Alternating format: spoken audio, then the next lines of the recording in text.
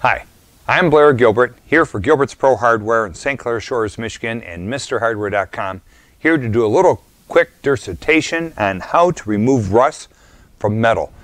We have gates, we have handrails, we have swing sets, all these metal things in our yard. What's the quickest, best way to protect them? Well, we've been using now for over 15 years two products. These are both phosphoric acid based products. What they are, they're mild phosphoric acid. They're not very nasty. Um, I'm going to wear some gloves. I've used it plenty of times without gloves, but I've always had water to rinse my hands with. What this does is the phosphoric acid reacts with the oxygen and the rust, pulls the oxygen out of the rusting metal, leaves the metal primed and ready for a coat of oil-based paint as our recommended first coat. I've used this on seawalls, steel garage doors. It's just done a great job for me. So here we have this nasty saw given to me by USA Lock. It is a beauty. The only problem is it's a chocolate mess. So what we did is we pre-coated the backside just so you can see the finished product. Take a look at this. This is what it looks like afterwards. So what's happened here is before we started, well here I'm going to rub it now, my hand, there's no rust. This metal is beautiful. We did this a while ago. It takes, it's being water-based, it dries anywhere from an hour to overnight. Depends how thick the rust is. This was two coats, and now after it's dried, it's waterborne, it's dried. The rusty side before we started, see all the rust on my hand?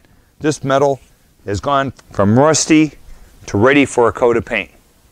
So, I'm going to take my time. This product is like water. Very thin.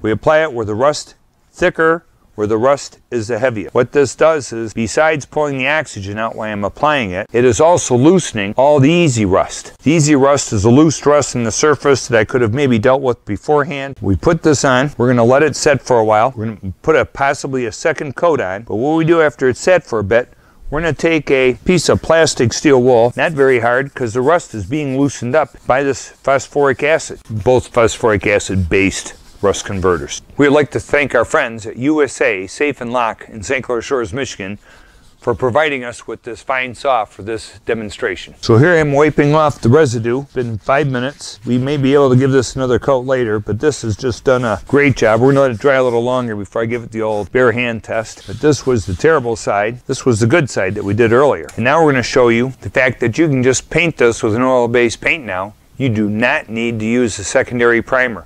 So this rust remover not only does a great job, stupendous job of getting rid of the rust and the oxygen causing the oxidation to happen, it is also our primer. So here we are, we let our product cure. And now we're going to take some all-purpose gloss black. We're going to show you that this is oil-based, that we can take this and just apply this right to this quickly prepared piece of metal. We did not sand it. We did not go out of our way to do a ton of work on it. So it's just a quick fix, nice old-fashioned piece of Americana. This saw blade could have easily been your steel garage door, your storm door, your handrail, your porch light. This rust inhibiting Ospho coat that we put on there is for any piece of rusting metal. So now we have a small tool, my grandpa's old pipe wrench. Same thing, just covered with rust. She's not looking so good. Been laying in the water a little too long. Another phosphoric acid based. This is a this is a Krud Kutter product and it comes in aerosol, liquids, other other forms. We're going to use the spray because this is handy when we're trying to do something with cracks and crevices and or I want to do a quick job. So you can smell the phosphoric acid. You want to make sure you're using this in a ventilated area. You wouldn't want to be doing this down with your head in a laundry tub. So I'm going to let the rust set. I'm a little bit early yet. But I'm going to let this set and I'm going to let this dissolve. Now the beauty of this product is this acts as an inhibitor for up to a whole year. So I really don't have to paint this pipe wrench. I could just leave this on here and let it go. We may take, after all this is dry, take a little bit of uh, oil and a rag, maybe a little paint thinner in it, and we'll soak this all down with a very light coating oil. And we're going to go back and show you how that saw came out. We can take a piece of rusty metal that no one would have ever touched and now it looks pretty darn nice. We've given it two quick coats of a gloss oil-based spray paint and we've saved it. So now, in five minutes, 10 minutes, You can see where the excess phosphoric acid is leaving a white residue. You can see most of the rust has been cleaned or eaten off. You can see where the rust is thick. It's still working. The rust was real heavy in these areas. Here's the other side now where the wrench was relatively clean. All the edges where there was rust forming are all gone now. We're going to give it another coat, another little touch up with the uh, plastic steel wool. You've seen the saw?